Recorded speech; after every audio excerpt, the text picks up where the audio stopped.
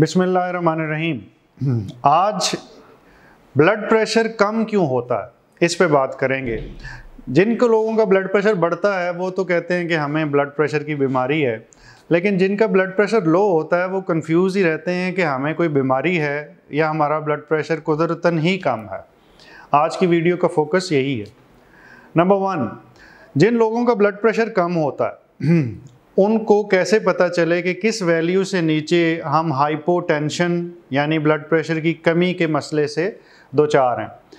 अगर किसी इंसान का ब्लड प्रेशर मुसलसल ऊपर वाला ब्लड प्रेशर 110 से नीचे रह रहा है तो वो हाइपोटेंशन की कैटेगरी में आता है। और इन जनरल फीमेल्स के अंदर हम 100 से नीचे इस कैटेगरी को लेते हैं। क्योंकि बहुत सारी फीमेल्स के अंदर ब्लड प्रेशर जो सा है वो 100 से वन टेन के दरमियान रहता है। अच्छा एक मोहतात अंदाज़ा किया गया और एक रिसर्च की गई और उसमें पता ये चला कि तकरीबन दो परसेंट जनरल पॉपुलेशन में से लोग ऐसे हैं, यानी कि एक करोड़ में से दो लाख लोग ऐसे हैं जिनके जिसम में ख़ास तब्दीली है और उसकी वजह से वो लोग ब्लड प्रेशर लो रहता है। उनको आम रूटीन में जैसे बहुत सारे उनके एज्ड के मैच्ड इंडिविजुअल्स हैं, यानी कि वो फ़र्ज़ करें अगर 50 साल में हैं और 50 साल के और बहुत सारे लोग हैं तो उनको ब्लड प्रेशर होने का चांस बहुत कम है, क्योंकि उनके जिसम के अंदर एक ख़ास मसला है, मैं उसका ज़िक्र करूँगा। इस मसले को उर्दू में कोई इसका अच्छा नाम नहीं है, इसका कोई आसान नाम नहीं है, लेकिन एक मालिक्यूल के अंदर म्यूटेशन होती है, वो हमारे गुर्दे के अंदर मालिक्यूल होते हैं। ये सोडियम के चैनल्स होते हैं, जो हमारे गुर्दे में ट्यूब्यूल्स के अंदर लगे होते हैं। और अगर इनमें एक मुकम्मल किस्म की म्यूटेशन हो, म्यूटेशन किसको कहते हैं? अगर हमारे जीन के अंदर कोई एक जीन ख़राब हो गया तो उसे म्यूटेशन कहते हैं। अगर मुकम्मल म्यूटेशन हो और वो जीन ही ख़राब हो जाए तो बहुत बचपन में ये बच्चों को शदीद किस्म का लो ब्लड प्रेशर वॉमिटिंग नकाहत, पैरों के अंदर खिंचाव और सोडियम और पोटाशियम और मैग्नीशियम की कमी का सामना करना पड़ता लेकिन अगर यही म्यूटेशन हेट्रोजीनस हो, यानी कि माइल्ड सी हो, मुकम्मल तौर पे वो प्रोटीन ज़ाया ना हो, लेकिन वो अपना फ़ंक्शन कम कर दे तो उसके नतीजे में होता ये है कि हम जो नमक खाते हैं, वो पेशाब के रास्ते बाहर निकल जाता। अब जब जो हमने नमक खाया, वो जिसम के अंदर रह ही नहीं रहा तो हमारा ब्लड प्रेशर ऊपर नहीं आ पाता। तो अंग्रेज़ी में इसको हम हेट्रोजेनस म्यूटेशन कहते हैं, लेकिन आम तौर पे आप ये याद रखें कि कुछ लोगों के गुर्दे के अंदर सोडियम को जिसम में कैद रखने की काबिलियत नहीं होती। इस वजह से उनका ब्लड प्रेशर लो रहता है। वो थोड़ी सी परेशानी कर लें तो उनका ब्लड प्रेशर लो हो जाता है। वो थोड़ा सा फ़िज़िकल एग्जर्शन कर लें, वो उनको गर्मी में काम करना पड़ जाए तो उनको सर दर्द शुरू हो जाती है बीपी लो हो जाता है।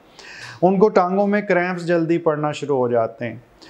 और यहाँ तक कि वो बीपी को बेहतर करने के लिए नमक वाले मशरूब और इस तरह की और बहुत से टोटके जो उनसे हैं, वो अपना रहे होते हैं। अब जिन लोगों को ये है, वो क्या एक्सपेक्ट करें कि आगे क्या होने वाला इसके बारे में रिसर्च हुई और एक कोहार्ट बनाया गया जिसमें उन्होंने उन लोगों को जिनके गुर्दे में ये म्यूटेशन थी, उनको लिया और नॉर्मल पॉपुलेशन को लिया और 60 साल की उम्र तक उनको फॉलो किया। तो पता ये चला कि 50 साल की उम्र के बाद जो नॉर्मल पॉपुलेशन है, उसमें से 42 परसेंट को ब्लड प्रेशर का मर्ज हो गया था। लेकिन जिनकी म्यूटेशन थी, उनमें से सिर्फ़ 19 परसेंट को हुआ विच का मतलब ये है कि एक अच्छी खबर इन लोगों के लिए है कि ब्लड प्रेशर बढ़ने के मर्ज का चांस बहुत कम है। और अगर फ़र्ज़ करें कि इन लोगों का खुदा ना खास्ता किसी भी वजह से ब्लड प्रेशर हो गया, गुर्दे के मसला हो गया या कुछ और हार्मोनल ख़राबी आ गई, और ब्लड प्रेशर हो भी जाए तो इनका जो ब्लड प्रेशर है, वो सॉल्ट सेंसिटिव नहीं होता। यानी कि नमक से वो कोई बुरा नहीं मानता। ये वो लोग होते हैं जिनको नमक खाने से भी ब्लड प्रेशर नहीं बढ़ता। हालाँकि वो ब्लड प्रेशर के मरीज़ होते हैं। तो ये एक लिहाज से सहूलत है कि हमें उनका नमक उतना ज़्यादा कम नहीं करना पड़ता। उनकी ज़िंदगी उतनी ज़्यादा कैदी किस्म की नहीं होती। इतनी ज़्यादा वो जैसे फीका खाना खाने से जैसे हम कहते हैं कि हमारी ज़िंदगी ब्लैक एंड वाइट होगी, वो वाला मसला इनके साथ नहीं होता। लेकिन दूसरी तरफ़ इसके साथ जो लो ब्लड प्रेशर है, जिसम में थोड़ी थोड़ी दर्द हल्की हल्की नकाहत बात बात पे बीपी का कम होना, ये ज़रूर होता। ऐसा कोई भी टेस्ट जिसके ज़रिए 100 फ़ीसद ये चीज़ कंफर्म हो जाए कि ये वाली म्यूटेशन है, वो नहीं है। जेनेटिक एनालिसिस इसका पाकिस्तान में तो मौजूद नहीं है। बांग्लादेश में भी नहीं है, इंडिया में I am not sure but दुनिया में कुछ जगह पे है, लेकिन वो भी कमर्शली अवेलेबल नहीं है। रिसर्च के लिए सिर्फ़ है।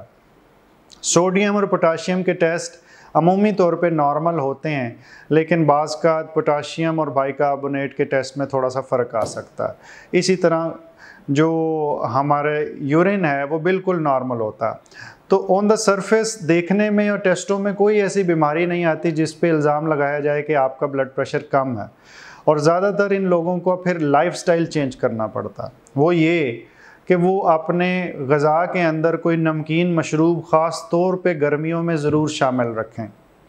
और उनको पानी ज़्यादा पीना पड़ता। और वो over the period of time अपनी तबीयत के मुताबिक खाने में थोड़ा सा नमक भी ज़्यादा रखते हैं। जो कि वैसे इतनी अच्छी आदत नहीं है, बेहतर ये है कि नमक नॉर्मल रखा जाए ताकि दिल और दिमाग दूसरी बीमारियों का शिकार ना हो जाए। तो ये सवाल बड़े अरसे से लोग करते थे कि लो ब्लड प्रेशर जो सा है, उसकी वजह के बारे में कोई वीडियो बनाएँ, वो मैंने आज डिस्कवर कर ली। इसके कई और पहलू भी हैं, वो इन ताला आने वाले कुछ वीडियोज़ में आपसे डिस्कस करेंगे। अपना बहुत ख्याल रखिए। अल्लाह ताला आपको मुकम्मल ज़िंदगी दे और दूसरों की ज़िंदगी मुकम्मल करने का शर्फ अता करें। शुक्रिया।